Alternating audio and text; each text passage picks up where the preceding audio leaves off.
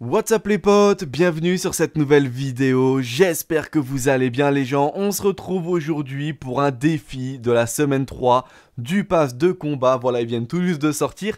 Et aujourd'hui on va réaliser ensemble un des défis étant classé comme difficile qui est de suivre la carte au trésor trouvée à Snowby Shores. Alors nous franchement on a lancé une partie, on a été directement à Snowby Shores, on a eu de la chance, il n'y avait aucune équipe, on a trouvé directement euh, la carte au trésor, voilà donc si jamais vous voulez aller la voir, c'est directement dans la maison la plus au nord. Et vous savez devant vous avez deux petites salles euh, fermées avec une porte dans lesquelles il y a directement euh, une petite salle de surveillance avec des caméras etc. Et bien dans une de celles-ci, sur le mur, vous allez trouver directement la carte au trésor. Je vous l'affiche à l'écran, la voici.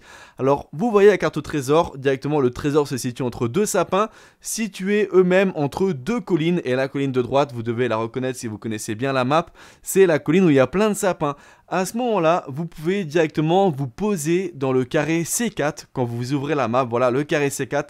Alors, c'est entre le terrain de foot et Pleasant Park. Et à ce moment-là, vous posez. Donc, nous, on a été directement après Shores. On a couru, c'était vraiment juste à côté.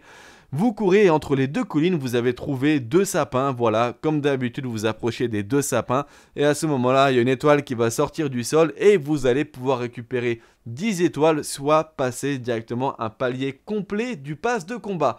J'espère vraiment que cette vidéo vous aura aidé comme d'habitude. N'hésitez pas à lâcher un gros pouce bleu et à partager cette vidéo. Je vous dis à très bientôt pour de prochaines infos et vidéos sur Fortnite les potes. Prenez soin de vous. Tchuss